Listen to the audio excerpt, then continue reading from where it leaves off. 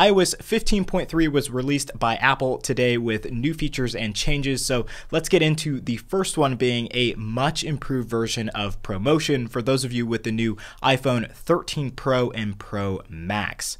So now when you use your iPhone and you start scrolling at different rates, your device will actually adjust the refresh rate a lot more smoothly, whereas before the changes were quite noticeable and there was actually visual lags occurring because ProMotion was a little bit buggy at the time. So that's a huge improvement made over what we saw in iOS 15.2. And I highly recommend that you check it out uh, because obviously ProMotion was a highly requested feature for these new devices and it now works just as smoothly as it does on the iPad Pros. Now, before getting into the other new features and changes, the total size for this iOS 15.3 update was 5.15 gigabytes for my iPhone 13 Pro Max, so definitely a fairly good size update here. And then we had a new build number of 19D49. Now, as for modem firmware, we do have new modem firmware being 1.41.06, and that new modem firmware should improve on some of the 5G connectivity issues of any users with the new iPhone 13 series devices that were experiencing those issues, along with some call quality issues as well, specifically again for the iPhone 13 series devices.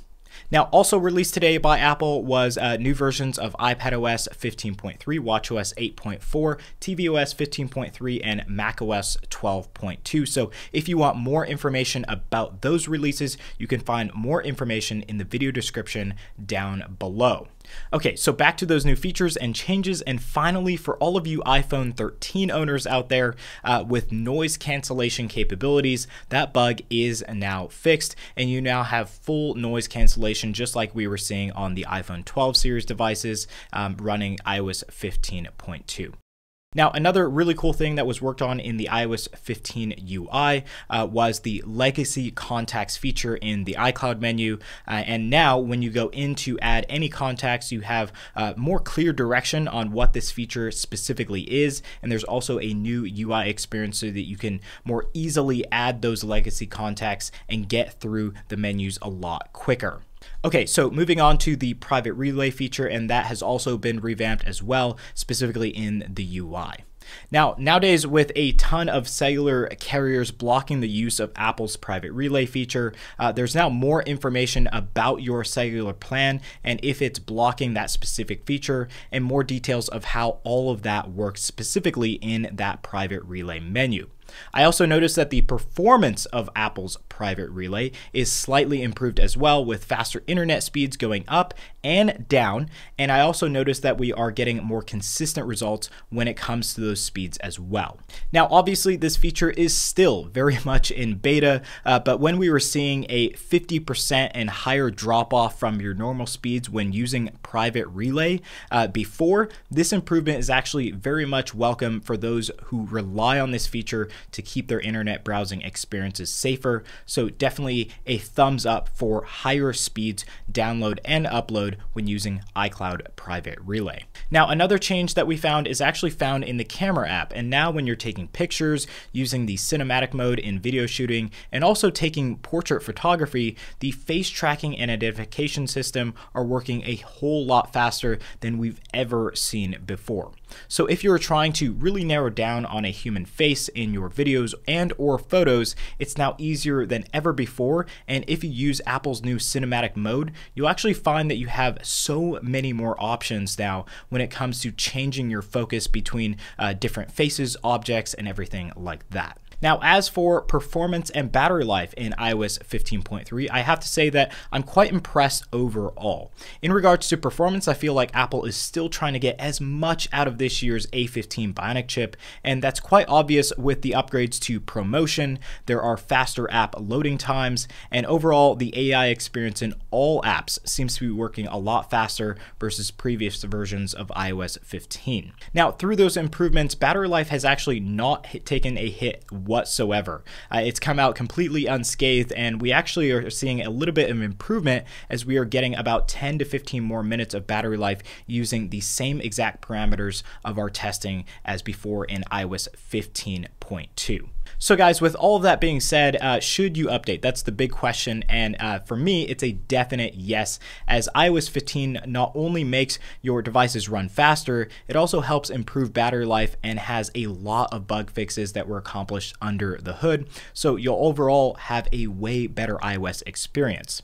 Now, I've personally been using the betas and release candidate versions on my daily driver device, and uh, for the most part, it's been a near perfect experience with none of my apps running into any issues whatsoever. So guys, when it comes to new features, yes, iOS 15.3 uh, doesn't bring a whole lot of new features. Uh, you won't be seeing a ton of new fancy tricks and everything like that in the UI from Apple, uh, but there actually are some things that you should expect from them uh, coming very soon in the near future uh, via software updates. Now, we have the universal control feature that Apple previewed way back at WWDC in 2021. We have the Apple Wallet and driver's license integration coming very soon soon to select states, and we also have a dedicated UI experience coming for updating external devices such as AirPods directly in the Bluetooth and or general settings menu. So obviously there's a lot coming in the near future in iOS uh, 15 and 16, and this update is just a stepping stone for those future changes. Okay, so how did you like today's iOS 15.3 update? Let me know in the comment section down below, and also let me know if we didn't cover any new features and or changes that you personally found so others can go ahead and check those out. Anyways, guys, make sure to get subscribed to the channel for more future updates like these, and also check out our channel information link down below for giveaways and other really cool things we have going on. Today's beta update video is brought to you by Privado VPN. Privado VPN is by far one of the best value VPN services out there that only costs you $5 a month. With that, you get access to hundreds of servers spread across 47 server locations worldwide, unlimited monthly data, and a ton of privacy focused features that ensure that your internet browsing experience is truly private. Now, I personally love using a VPN to change my location from the United States to the United Kingdom so I can access different sportscasts in Europe. And what's really cool about that experience is when watching a high quality sportscast, I never experience any buffering or lags by using Privado VPN. So if you're looking for a reliable and also very fast and secure VPN service, check out Privado VPN through the link in the video description down below. Anyone that signs up through that link, whether that be for the yearly plan or just one month, will be eligible for a $200 Apple gift card reward, as we'll be giving away one of those gift cards to every 10th user that signs up from now until the end of the month. So check out Privado VPN, the best value VPN service out there.